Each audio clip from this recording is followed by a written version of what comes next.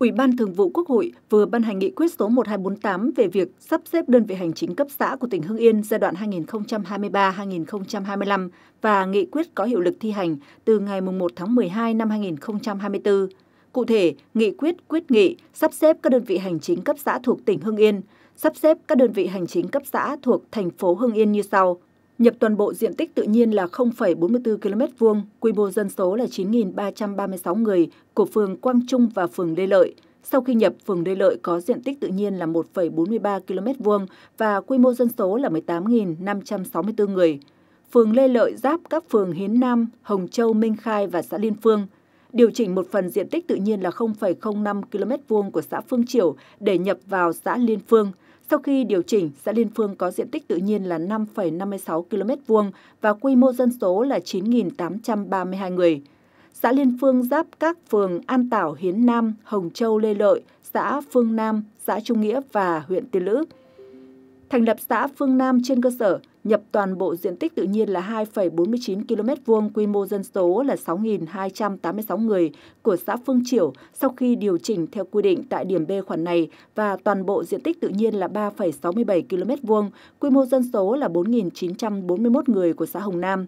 Sau khi thành lập, xã Phương Nam có diện tích tự nhiên là 6,16 km vuông và quy mô dân số là 11.227 người xã Phương Nam giáp các xã Hoàng Hanh, Liên Phương, Quảng Châu, Tân Hưng, Hồng Châu và huyện Tiên Lữ. Sau khi sắp xếp, thành phố Hưng Yên có 15 đơn vị hành chính cấp xã gồm 6 phường và 9 xã. Sắp xếp các đơn vị hành chính cấp xã thuộc huyện Tiên Lữ như sau. Nhập toàn bộ diện tích tự nhiên là 3,81 km vuông, quy mô dân số là 4.283 người của xã Minh Phượng vào xã Cương Chính. Sau khi nhập, xã Cương Chính có diện tích tự nhiên là 10,17 km vuông và quy mô dân số là 12.718 người xã Cương Chính giáp xã Thụy Lôi, xã Trung Dũng, huyện Phù Cử và tỉnh Thái Bình.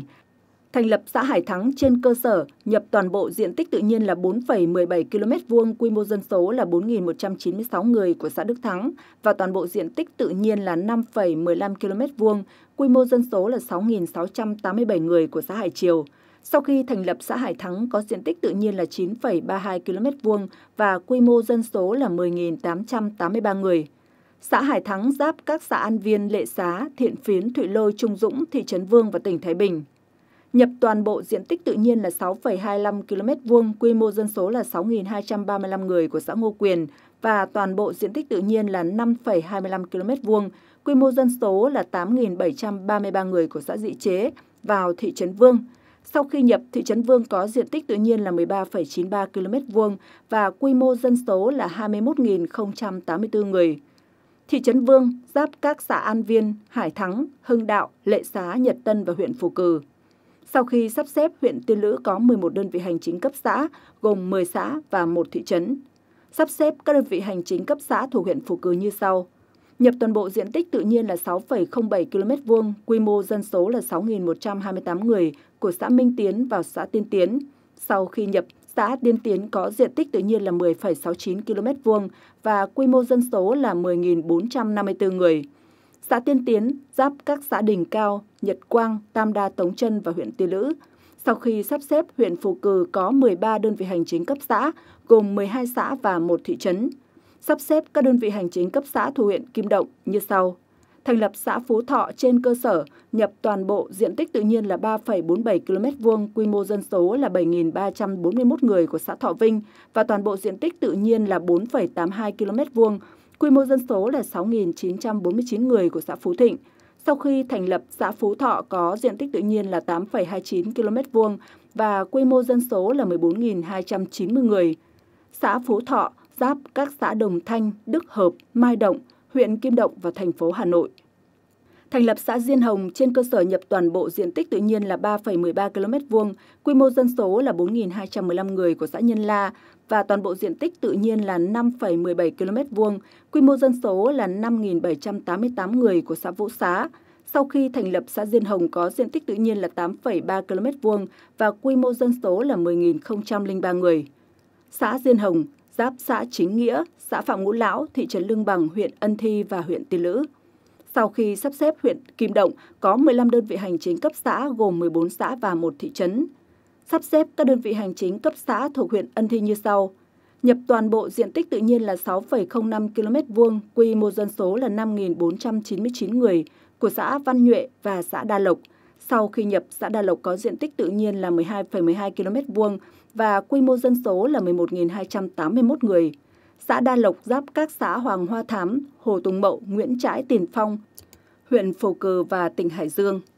Nhập toàn bộ diện tích tự nhiên là 4,71 km vuông, quy mô dân số là 5.340 người của xã Tân Phúc vào xã Quang Vinh. Sau khi nhập xã Quang Vinh có diện tích tự nhiên là 10,29 km vuông và quy mô dân số là 12.504 người. Xã Quang Vinh giáp các xã Bãi Sậy, Bắc Sơn, Đào Dương, Hoàng Hoa Thám, Vân Du, thị trấn Ân Thi và tỉnh Hải Dương. Nhập toàn bộ diện tích tự nhiên là 4,53 km vuông, quy mô dân số là 5.646 người của xã Hồng Vân vào xã Hồng Quang. Sau khi nhập, xã Hồng Quang có diện tích tự nhiên là 7,93 km vuông và quy mô dân số là 12.047 người. Xã Hồng Quang giáp các xã Hạ Lễ, Hồ Tùng Mậu, Tiền Phong, huyện Kim Động và huyện Tiền Lữ.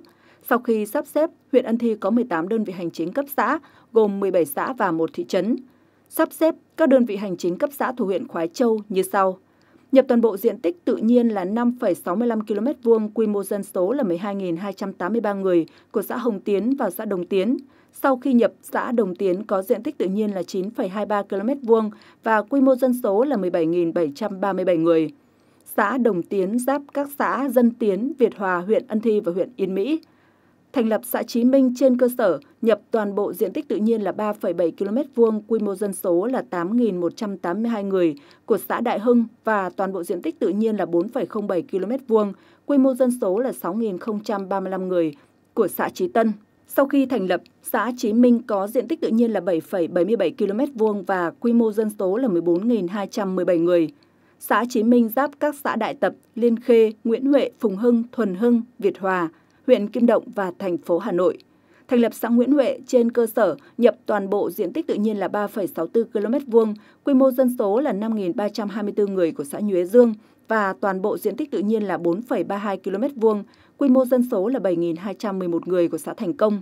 Sau khi thành lập xã Nguyễn Huệ có diện tích là 7,96 km vuông và quy mô dân số là 12.535 người. Xã Nguyễn Huệ giáp xã Chí Minh, xã Thuần Hưng, huyện Kim Động và thành phố Hà Nội – thành lập xã Phạm Hồng Thái trên cơ sở nhập toàn bộ diện tích tự nhiên là 4,64 km vuông, quy mô dân số là 7.567 người của xã Hàm Tử và toàn bộ diện tích tự nhiên là 3,73 km vuông, quy mô dân số là 6.412 người của xã Dạ Trạch. Sau khi thành lập, xã Phạm Hồng Thái có diện tích tự nhiên là 8,37 km vuông và quy mô dân số là 13.979 người. Xã Phạm Hồng Thái giáp các xã An Vĩ, Bình Minh, Đông Kết, Đông Tảo, Ông Đình – Tân Dân, Tứ Dân, thị trấn Khoái Châu và thành phố Hà Nội. Nhập toàn bộ diện tích tự nhiên là 4,16 km vuông, quy mô dân số là 7.576 người của xã Bình Kiều vào thị trấn Khoái Châu. Sau khi nhập, thị trấn Khoái Châu có diện tích tự nhiên là 8,55 km vuông và quy mô dân số là 16.870 người. Thị trấn Khoái Châu giáp các xã An Vĩ, Dân Tiến, Đông Kết, Liên Khê, Phạm Hồng Thái và Phùng Hưng. Sau khi sắp xếp, huyện Khói Châu có 20 đơn vị hành chính cấp xã, gồm 19 xã và một thị trấn. Sắp xếp các đơn vị hành chính cấp xã thuộc huyện Yên Mỹ như sau. Thành lập xã Nguyễn Văn Linh trên cơ sở nhập toàn bộ diện tích tự nhiên là 3,21 km vuông, quy mô dân số là 8.927 người của xã Nghĩa Hiệp và toàn bộ diện tích tự nhiên là 6,08 km vuông, quy mô dân số là 8.631 người của xã Giai Phạm. Sau khi thành lập, xã Nguyễn Văn Linh có diện tích tự nhiên là 9,29 km vuông và quy mô dân số là 17.558 người. Xã Nguyễn Văn Linh giáp các xã Đồng Than, Liêu Xá, Ngọc Long, thị xã Mỹ Hào, huyện Văn Giang và huyện Văn Lâm thành lập xã Tân Minh trên cơ sở nhập toàn bộ diện tích tự nhiên là 7,72 km vuông, quy mô dân số là 7.777 người của xã Lý Thường Kiệt và toàn bộ diện tích tự nhiên là 4,05 km vuông, quy mô dân số là 9.898 người của xã Tân Việt. Sau khi thành lập, xã Tân Minh có diện tích tự nhiên là 11,77 km vuông và quy mô dân số là 17.675 người xã Tân Minh giáp xã Trung Hòa, xã Việt Yên, thị trấn Yên Mỹ, huyện Ân Thi và huyện Khói Châu. Thành lập xã Việt Yên trên cơ sở nhập toàn bộ diện tích tự nhiên là 3,62 km vuông, quy mô dân số là 6.814 người của xã Yên Hòa. Toàn bộ diện tích tự nhiên là 3,43 km vuông, quy mô dân số là 5.544 người của xã Minh Châu và toàn bộ diện tích tự nhiên là 2,62 km vuông, quy mô dân số là 4.875 người của xã Việt Cường. Sau khi thành lập, xã Việt Yên có diện tích tự nhiên là 9,67 km vuông và quy mô dân số là 17.233 người. Xã Việt Yên giáp các xã Đồng Than, Tân Minh, Thanh Long, Yên Phú, thị trấn Yên Mỹ và huyện Khói Châu. Nhập toàn bộ diện tích tự nhiên là 3,41 km vuông, quy mô dân số là 10.040 người của xã Trung Hưng vào thị trấn Yên Mỹ. Sau khi nhập thị trấn Yên Mỹ có diện tích tự nhiên là 7,46 km vuông và quy mô dân số là 27.617 người. Thị trấn Yên Mỹ giáp các xã Tân Lập, Tân Minh, Thanh Long, Trung Hòa và Việt Yên. Sau khi sắp xếp, huyện Yên Mỹ có 12 đơn vị hành chính cấp xã, gồm 11 xã và một thị trấn. Sau khi sắp xếp các đơn vị hành chính cấp xã, tỉnh Hưng Yên có 10 đơn vị hành chính cấp huyện, gồm 8 huyện, 1 thị xã và 1 thành phố. 139 đơn vị hành chính cấp xã, gồm 118 xã, 13 phường và 8 thị trấn. Nghị quyết này có hiệu lực thi hành từ ngày 1 tháng 12 năm 2024. Chính phủ, Hội đồng Nhân dân, Ủy ban Nhân dân tỉnh Hưng Yên và các cơ quan tổ chức hữu quan có trách nhiệm tổ chức thi hành nghị quyết này, sắp xếp kiện toàn bộ máy các cơ quan tổ chức ở địa phương, ổn định đời sống của nhân dân địa phương, đảm bảo yêu cầu phát triển kinh tế xã hội, quốc phòng và an ninh trên địa bàn.